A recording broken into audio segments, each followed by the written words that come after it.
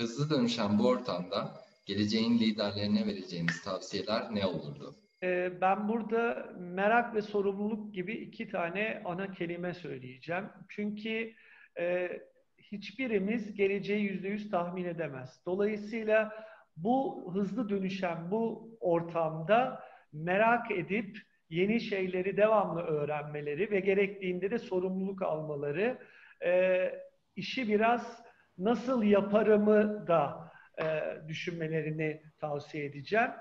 E, iletişim yeteneği olmazsa olmaz e, artık iş hayatında. Dolayısıyla çok sevdiğim de bir laf vardır. Yanlış üslup e, doğru sözün cellatıdır diye.